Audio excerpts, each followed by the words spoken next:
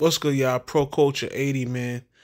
So, Wack 100 just posted on his Instagram story going at Offset, saying, Offset, little weird ass nigga, I told you keep my name out your emotional shit. That's your fault you don't know the difference between a castle and a shack. You lucky I respect sis, or I get out the way and really let the exposure happen. Remember what you sent on Pyro.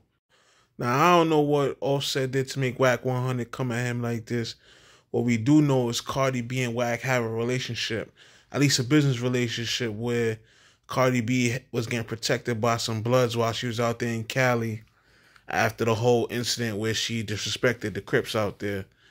But like I said, Wack 100 always saying he got some type of information on somebody. When is people gonna learn to stop, you know, giving this nigga some secret information and he gonna end up using against you once you get on his bad side. All saying Cardi B going through it right now. You know what I'm saying? Offset supposed to be cheating with this person and that person. And it's one big triangle because Wack 100 is Offset is Blueface manager. Blueface is claiming Offset slept with Chrisean Rock. So maybe that's the information Wack got. I don't know. But let me know what y'all think in the comments, man. Like, subscribe, share this one.